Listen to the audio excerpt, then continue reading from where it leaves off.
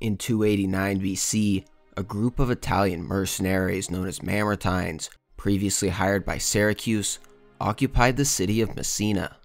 Hard pressed by Syracuse, the Mamertines appealed to both Rome and Carthage for assistance in 265 BC.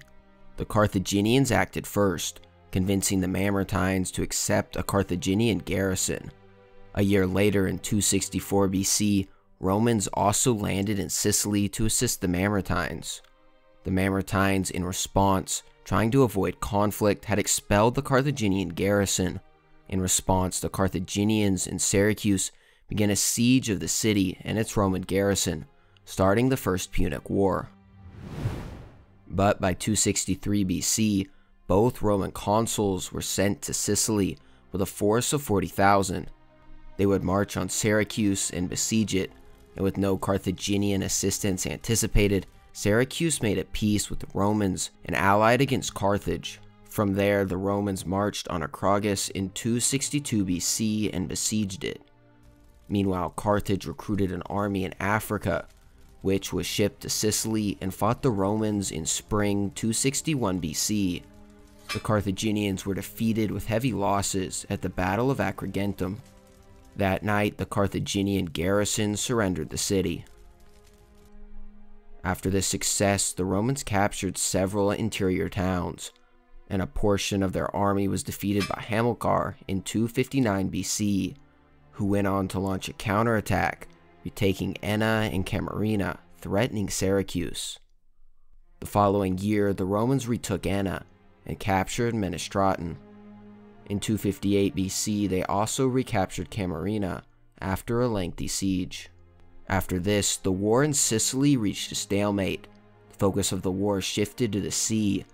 The Romans built 120 warships and dispatched them to Sicily in 260 BC, where a portion of the Roman fleet was defeated near the Aeolian Islands.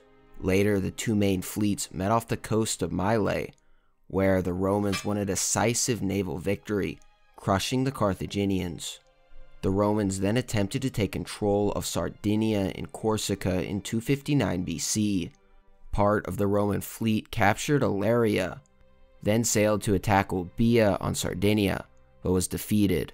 They would also lose Aleria, ending the campaign in Corsica and Sardinia. Rome's naval victories at sea and their frustration at the stalemate in Sicily led them to develop a plan to invade the Carthaginian heartland in North Africa and threaten the capital city of Carthage. The Carthaginians knew of the Romans' intentions and mustered all their ships to intercept them. The ensuing Battle of Cape Ecnomus was possibly the largest naval battle in history by the number of combatants involved, with a combined total of 680 warships carrying up to 290,000 crews and marines. After a day of prolonged and confused fighting, the Carthaginians were defeated. Following the battle in 256 BC, the Romans landed and captured Ephesus, and also won a subsequent victory at Adys.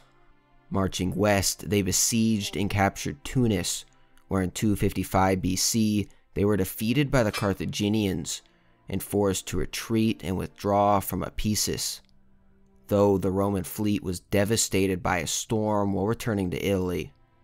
Having lost most of their fleet in the storm of 255 BC, the Romans rapidly rebuilt it. Meanwhile, the Romans launched a determined offensive in Sicily. Their entire fleet attacked Panormus early in the year, capturing it. Much of the western inland Sicily all came to terms with the Romans. In 253 BC, the Romans carried out several raids in Africa, but lost most of their fleet to another storm, which they would rebuild in the subsequent year. The next year, the Romans shifted their attention to northwest Sicily.